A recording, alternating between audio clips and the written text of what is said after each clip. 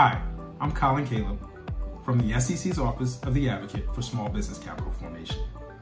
For a small business seeking to raise capital, identifying and locating potential investors is critical, but can be a challenge. In some areas, individuals, often referred to as finders, help to identify and in some instances solicit potential investors to connect small businesses that need capital with the investors interested in supporting them. To provide additional clarity to the market, recently, the SEC issued a proposed order that would grant exemptive relief to permit an individual to engage in limited activities on behalf of businesses seeking to raise investment capital without having to register as a broker. Before I dive in, I wanted to highlight that an individual may not rely on a proposed exemption that I'll be discussing until the Commission takes final action. This is only a proposal and is not final, so we encourage your feedback.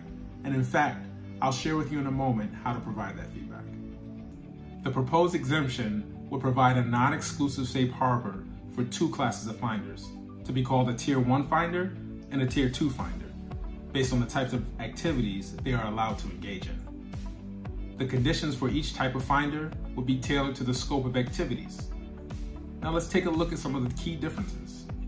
To start, Tier 1 and Tier 2 finders could only be natural persons. And while both would be able to receive transaction-based compensation, they could not engage in general solicitation of potential investors. Tier 1 finders could not contact potential investors. However, Tier 2 finders could only solicit accredited investors. Additionally, Tier 1 and Tier 2 finders would only be able to help find investors in an exempt offering by a private or non-reporting company. And as for permitted activities, the proposed order would allow Tier 2 finders to engage in certain activities beyond what would be allowed for Tier 1 finders, such as contacting potential investors and distributing the company's materials to investors. But will require Tier 2 finders to make certain written disclosures to the investor. In a 12-month period, a Tier 1 finder would only be able to participate in one capital raising. Several other terms to these exemptions would apply. We encourage you to review the complete proposed order for more information.